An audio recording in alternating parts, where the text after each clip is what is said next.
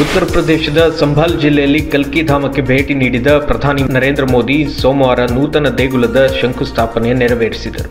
ಇದರ ಭಾಗವಾಗಿ ಪೂಜಾ ವಿಧಿವಿಧಾನಗಳಲ್ಲಿ ಪ್ರಧಾನಿ ಪಾಲ್ಗೊಂಡರು. ಈ ಸಂದರ್ಭದಲ್ಲಿ ಮುಖ್ಯಮಂತ್ರಿ ಯೋಗಿ ಆದಿತ್ಯನಾಥ್ ಮತ್ತು ಕಲ್ಕಿ ಧಾಮ ನಿರ್ಮಾಣ ಟ್ರಸ್ಟ್ ಅಧ್ಯಕ್ಷ ಆಚಾರ್ಯ ಪ್ರಮೋದ್ ಕೃಷ್ಣಂ ಉಪಸ್ಥಿತರಿದ್ದರು.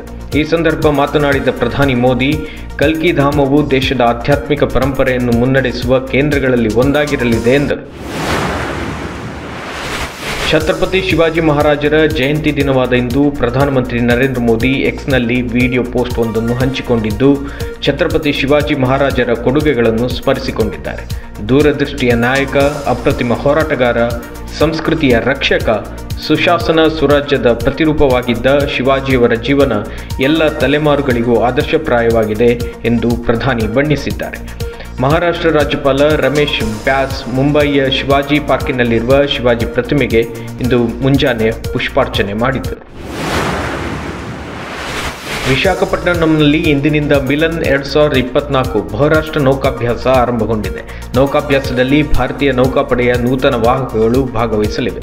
ಐಎನ್ಎಸ್ ವಿಕ್ರಮಾದಿತ್ಯ ಈಗಾಗಲೇ ವಿಜಾಗ್ ಬಂದರಿಗೆ ತಲುಪಿದ್ದು ಯುದ್ಧ ವಿಮಾನಗಳು ಪ್ರದರ್ಶನದಲ್ಲಿ ಭಾಗವಹಿಸಲಿವೆ. ಒಟ್ಟು ಐವತ್ತು ದೇಶಗಳ ನೌಕೆಗಳು ಮತ್ತು ನೌಕಾ ವಾಹಕಗಳು ನೌಕಾಭ್ಯಾಸ ಮತ್ತು ಪ್ರದರ್ಶನದಲ್ಲಿ ಭಾಗವಹಿಸಲಿವೆ. ಫೆಬ್ರವರಿ ಇಪ್ಪತ್ತೇಳರ ತನಕ ನೌಕಾಭ್ಯಾಸ ನಡೆಯಲಿದೆ. ಮೊರಾರ್ಜಿ ದೇಸಾಯಿ ವಸತಿ ಶಾಲೆ ಸೇರಿದಂತೆ ಸಮಾಜ ಕಲ್ಯಾಣ ಇಲಾಖೆಯಡಿ ಬರುವ ಅನೇಕ ವಸತಿ ಶಾಲೆಗಳ ಪ್ರವೇಶ ದ್ವಾರದಲ್ಲಿ ಕುವೆಂಪು ಅವರ ಕವಿತೆಯ ಘೋಷವಾಕ್ಯ, ಬದಲಾವಣೆ ಕಾರಣ ಏನೆಂಬುದು ಗೊತ್ತಿಲ್ಲ ಎಂದು ಶಿಕ್ಷಣ ಸಚಿವ ಮಧು ಬಂಗಾರಪ್ಪ ಹೇಳಿದ್ದಾರೆ. ಇದೇ ಸಂದರ್ಭ ಪ್ರತಿಪಕ್ಷ ಬಿಜೆಪಿ ಸರ್ಕಾರದ ಕ್ರಮವನ್ನು ಖಂಡಿಸಿದೆ. ಈ ಬಗ್ಗೆ ಮಾತನಾಡಿರುವ ಮಾಜಿ ಮುಖ್ಯಮಂತ್ರಿ ಬಸವರಾಜ ಬೊಮ್ಮಾಯಿ, ರಾಜ್ಯ ಸರ್ಕಾರ ವಸತಿ ಶಾಲೆಗಳಲ್ಲಿ ಇದುವರೆಗೂ ಇದ್ದ ಜ್ಞಾನ ದೇಗುಲವಿದು ಕೈ ಮುಗಿದು ಒಳಗೆ ಬಾ ಎಂಬ ವಾಕ್ಯವನ್ನು ಜ್ಞಾನ ದೇಗುಲವಿದ್ದು ಪ್ರಶ್ನೆ ಮಾಡಿ ಎಂದು ಮಕ್ಕಳ ಮನಸ್ಸಲ್ಲಿ ಸಂಘರ್ಷ ಮೂಡಿಸುವ ಕೆಲಸ ಮಾಡಿಸುತ್ತಿದೆ ಎಂದು ಆರೋಪಿಸಿದ್ದಾರೆ.